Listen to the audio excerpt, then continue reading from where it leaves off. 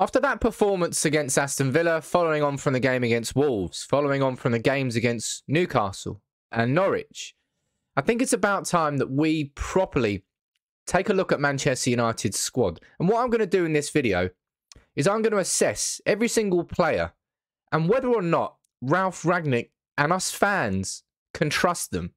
And what I mean by that is this squad is far better than how it's playing at the moment. Ralf Rangnick is a new manager that's coming. The manager's not the issue now. Solskjaer's been sacked. The players are still there. The system, in my opinion, is not the issue. The players are the issue. And we need to find out by doing this video. As I said, this is going to be purely my opinion. You might disagree with it, and that's what the comment section is all about. And I'll be really interested to hear whether or not you agree with me on these. But I'm going to take a look at every player and give my opinion as to whether or not Ralf Rangnick can trust them to do the job that he needs them to do. And let's let's start in goal. Let's start with David De Gea, and it's quite simple. Of course, David De Gea has proven so far in his tenure that he can be trusted under Ralf Rangnick. Uh, and and bear in mind that David De Gea, at the end of the tail end of last season, Dean Henderson came in. Dean Henderson turned into the number one goalkeeper you could be forgiven uh, for thinking that David how I did. I thought it was the perfect time for him to leave, for him to move on, but no, he doubled down on it. He he doubled down on his commitment to United, and his performances have absolutely proven that. Of course, he can trust him, and I see absolutely no. I, I, when it comes to making assumptions, I'm trying not to make any in this video. So I see no reason at all why he can't trust Tom Heaton and why he can't trust Lee Grant, even though I don't know what Lee Grant is or what Lee Grant does. Now, you might disagree with my opinion on this one, but we've heard now from Ralf Rangnick, he's confirmed that Dean Henderson wants to leave on loan and that Rangnick would rather him stay. And therefore, in my opinion, I don't particularly think that he could he could he could trust Dean Henderson. Because it's all about this unity inside this squad. Ralf Rangnick's job now, Success for Manchester United this season is not winning the Premier League. He came in halfway through the season. He was never going to win the league. His success for him, it's not just about results. It's about the performances and continued progress, step by step by step by step, getting United towards the position where when Ten Hag comes in in the summer or Pochettino or whoever comes in, they can take a squad on that's capable and mentally ready to then go and challenge for the Premier League, which we all thought we could have done at the start of the season based on the squad quality but not on the squad mentality. That's for sure. And I, I therefore don't think when, when it comes to um, I don't know when it comes to him implementing his system and his style and everything he's trying to do. I'm not sure whether he now can trust Dean Henderson. If Dean Henderson's head is like, I want to go out on loan, but you won't let me, it's going to make it tough for him. That's what I think anyway. So I think, you know, there's no reason to think that Lee Grant and Tom Heaton can't be trusted. And maybe I'm being unfair on Dean Henderson there, but that's my opinion there. And the problem here is that you'll see there's plenty of players here that I'm going to give a red box to. And judging by, and a, lot of what I'm going to be doing here, by the way, is going to be judged mostly on what I see on the pitch. I'm not making assumptions based on what I'm reading in the press or what yeah what, what the stories are coming out about dressing room discontent X Y Z. I'm I'm mainly judging this on what I am seeing on the pitch. And who do, who do I think, therefore, that us fans can trust to give 100% to the game? That Rangnick can trust to implement his system and do it properly. And there's so many players that I don't think he can trust. And I think Victor Lindelof is probably one of them. Victor Lindelof, uh, pretty shocking last night there uh, against Aston Villa. And I think he's been very shaky under Rangnick so far. I think all of them have, apart from Phil Jones, really, and Eric Bailly. But I'm I'm unsure whether he can trust Victor Lindelof to do the job that he requires.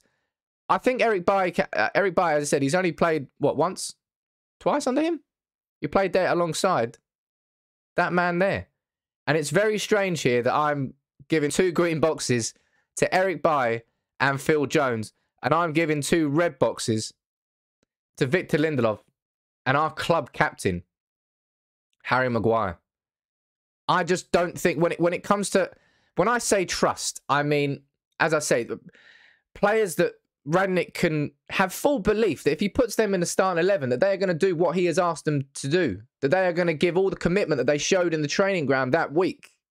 And I don't think, judged on what I've seen so far under Rangnick from Lindelof Bailly Jones and Maguire, that he can trust either Lindelof or Maguire. And I think he can trust Bailly and Jones. Now Maguire, is a whole different conversation, a whole different video. The guy's the captain. Captains get held to different standards. Captains get scrutiny that's on a higher level than any other player. That's the responsibility of having the armband at Manchester United or any other football club, right?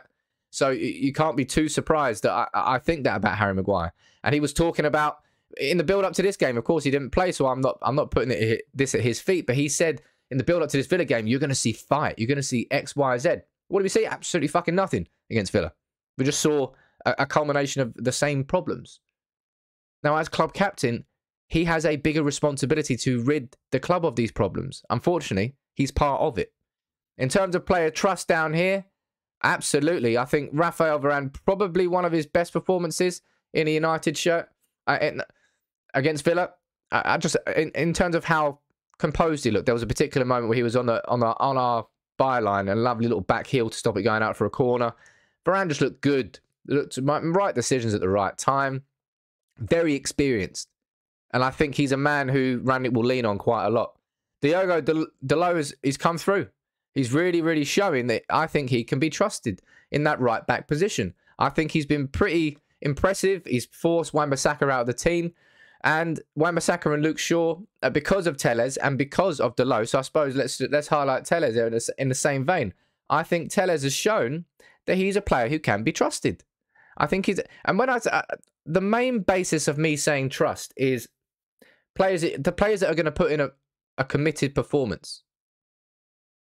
Now, pretty much all of them have got black marks on their name from the game so far under Rangnick because there's not really been a pure performance, has there? First 30 minutes against Crystal Palace, and we're scraping the barrel here. But that's as good as it's got. Ever since then, we had one all against Young Boys, 11 changes. Then you had Norwich. Hmm, we know what happened there. Newcastle after that. We could have lost both of those games. Wolves, we did lose that game. Last night against Villa, we could have lost that game as well. There's not been any control. But I would trust Dalot and I would trust Telles probably more than I would trust Wan-Bissaka and I would trust Luke Shaw at the moment. Now, Luke Shaw was okay last night against Aston Villa, but again, Luke Shaw, it's past him, but he's been. I think Burnley was a game where he was fantastic, but then there's been other games where they've just passed him by. So again, I'm going to put both of those down as players that right now I don't think that Rangnick can completely trust. And this is not me saying that I think Dalot and Telles are better fullbacks than Shaw or Wan-Bissaka, but a lot of you would probably argue that going forward, certainly Wan-Bissaka and Dalot. I don't think so. I think Luke Shaw was eh, one of our players of the year last year. He was one of the players at the tournament at Euro 2020. What I'm seeing under Rangnick, I'm not seeing that. And that's what I mean. The chips are down now. The backs are against the wall. Who can we trust to put in the performances? That's what we've got to look at as fans. And that's what I'm doing in this video. Obviously, Brandon Williams, Tuanzebe, and Teden Mengi all out on loan. So there's no point talking about those. And I know a lot of you, as I said, I'm making a lot of my judgment here on what I'm seeing on the pitch. So there's absolutely no reason why I would give Paul Pogba a, there's no reason to say that Paul Pogba can't be trusted. Paul Pogba hasn't really been he hasn't played. I question whether he can simply because I think his head's more than 50% out the door. I think he's just thinking about life after Manchester United. But it is what it is. I suppose Juan Mata and Jesse Lingard are confusing ones. In my opinion, I don't think that Jesse Lingard, that Rangnick can can sort of trust and expect him to put in those sorts of performances because you know Lingard's rejected the contract. Lingard doesn't want to play for Manchester. Maybe he does want to play for Manchester United, but he doesn't want to play on the terms that we've offered him. So therefore, his head's half out the door. Therefore, I don't think that Rangnick can trust him to implement what he wants and the intensity that he wants it between now and the end of the season. Juan Mata, um, there's been stories about. I'd probably put Juan Mata down as a player that he could trust. I might, I, you might disagree with that one there, but I, I'm going to put him down as a player he can trust. Uh, but but Juan Mata, I'm a bit. I probably say I'm a bit indecisive. No, it's just like I, I don't really know. I'm kind of sitting on the fence with Juan Mata. You let me know about that one.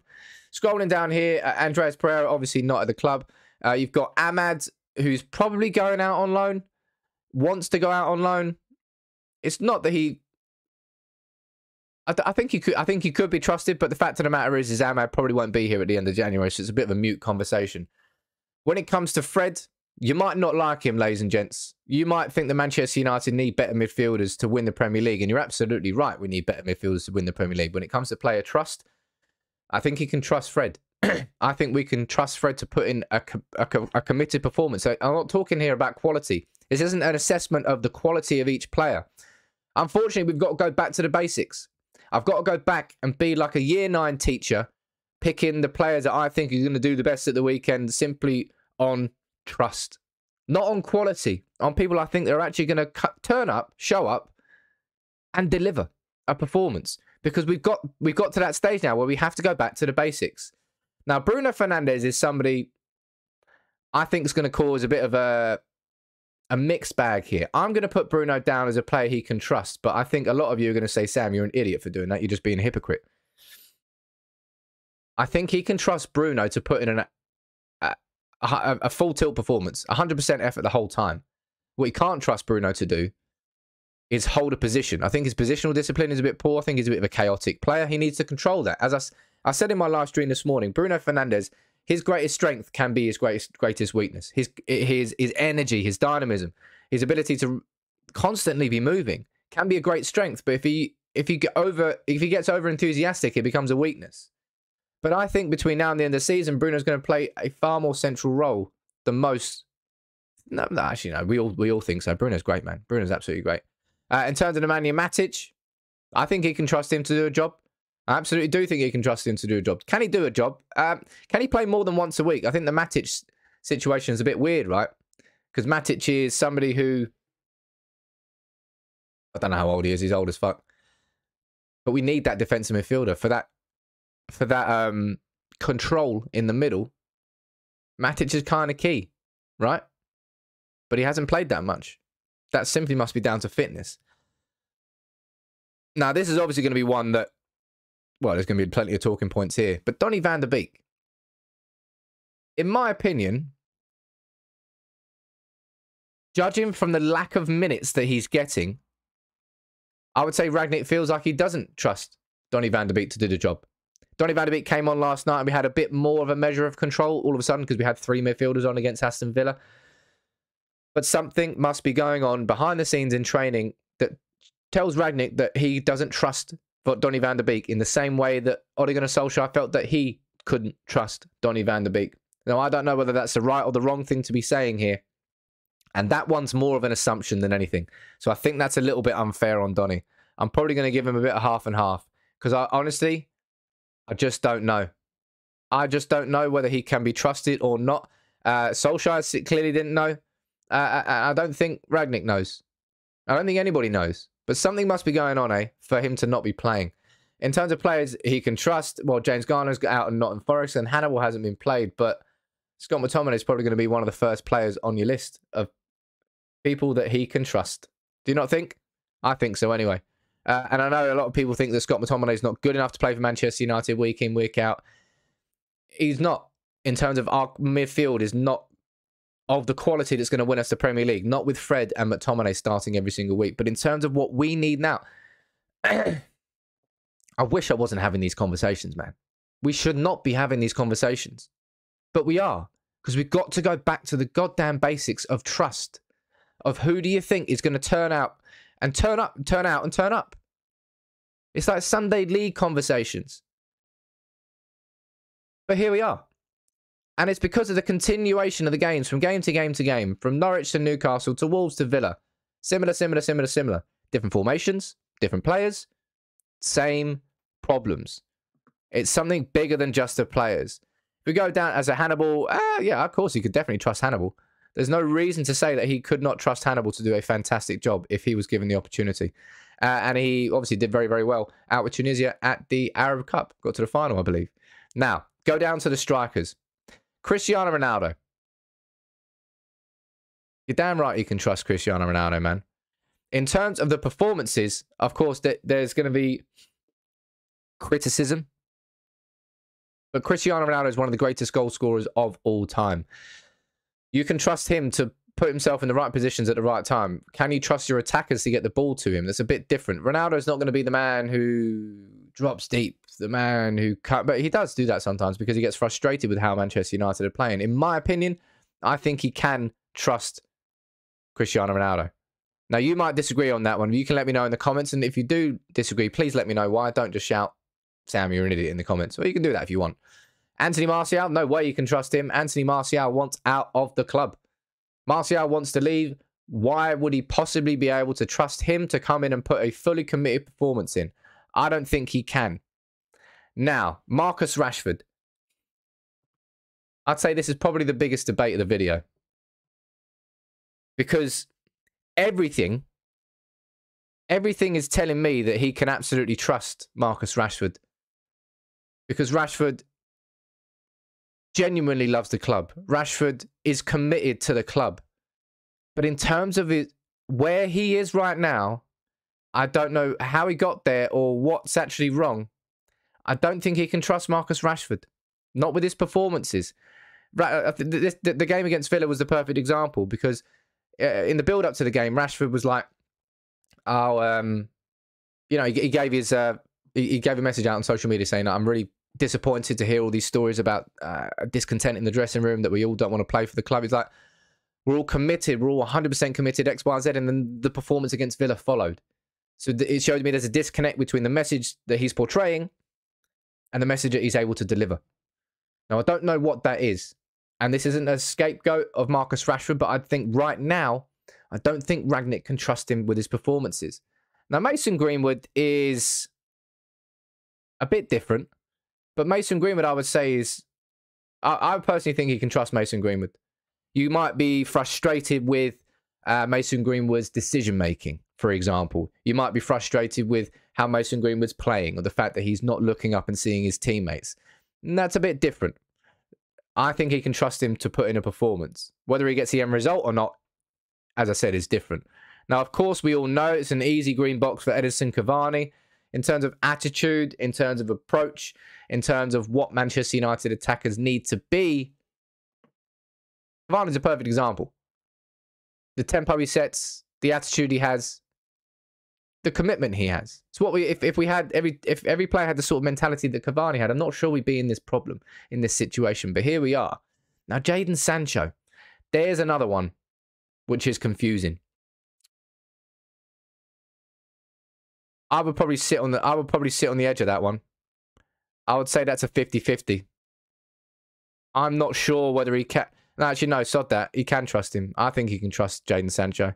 Jadon Sancho has not been delivering here so far. I don't think overall. I think he would admit that as well. Now, I don't think it's a scapegoat or a witch hunt to suggest that. It's just what we're seeing in front of us. But I think, I think he could trust Sancho a bit more than Rashford at the moment. But it's tit for tat. It's two players who are underperforming, and let's be completely honest. Someone he absolutely can trust. We saw it against Villa last night. We've seen it in pretty much every performance so far right from the preseason, the whole way through, Anthony Elanga has done nothing but impress. Well done to him, continuing to take advantage of the opportunities that he's being given. And I think he should be given more.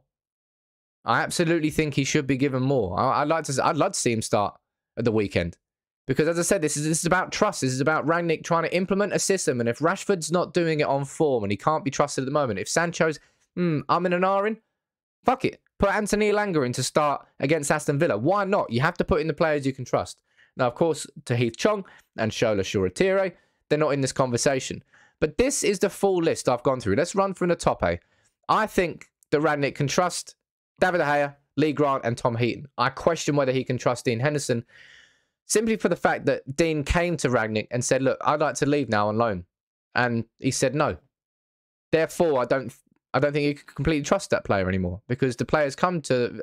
I think Rangnick's wrong to keep him. I think we've got Tom Heaton and Lee Grant there. We've got three goalkeepers. Let Dean go out on loan. He's at a point in his career where he needs to play.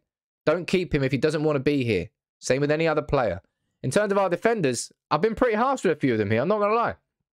I don't think he can trust Lindelof and Maguire. I don't think we can.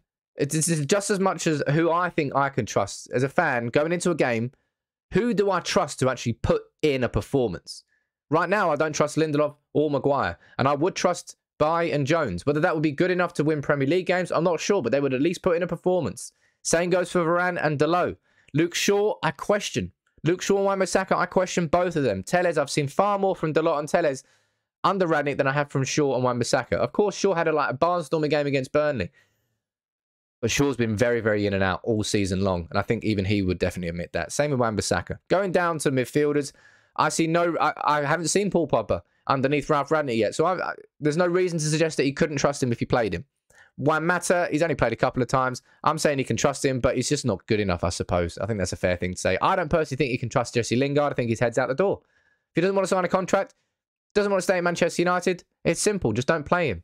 Amad, I think he could trust, but he's going out on loan, so it's kind of a mute conversation there. As I said earlier, I think he can absolutely trust Fred. There's a conversation to be had about Bruno Fernandes, which we already had.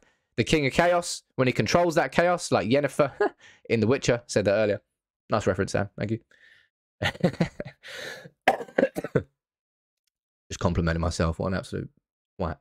Anyway, back to the video. Bruno Fernandes, I think he can trust, but he has to control that chaos. Nemanja Matic, I think he can trust. I just don't think he's fit enough for to play as regularly as he is. I don't know, but in terms of the element of control, he's your man. Donny van de Beek, I swear to God, I, I still can't make, make my mind up. Something must be going wrong in training for him to not get the game time. And it's happened under two managers so I'm just putting it at 50 50. I'm saying that Scott McTominay you can absolutely trust, and Hannibal, there's no reason to say that Hannibal can't be trusted. If you're looking at our forwards, I'm putting Martial and Rashford down right now as the players I don't think that Rangnick can completely trust. I think Ronaldo, Greenwood, Cavani, Sancho is a, a, question mark. You could probably put Sancho in the same category as Martial and, and Rashford at the moment. But Elanga, you can absolutely trust. What you can see there, as you can see, red. There's a, there's plenty of red throughout that squad, from front to back, from goalkeepers all the way up to strikers. There's problems inside this Manchester United squad. So I want you to let me know in the comments below. What do you think about this this video? What do you think about this what I've been discussing here? It's not just about talking about players quality and who's the best player. We've got to we've got to take it back. Put it back in first gear. We're stuck in neutral at the moment as a club and we need to get in first gear and the only way you're going to do that is by playing players that you trust to put in an actual performance. Whether or not that performance is good enough, it's a different question altogether.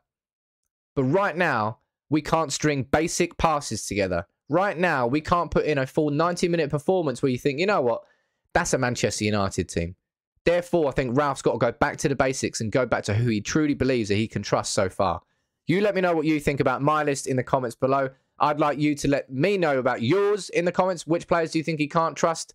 And as always, if you're new to United People's TV and you're still here, please consider subscribing. Until next time, though, hopefully after a win against Villa, take it easy.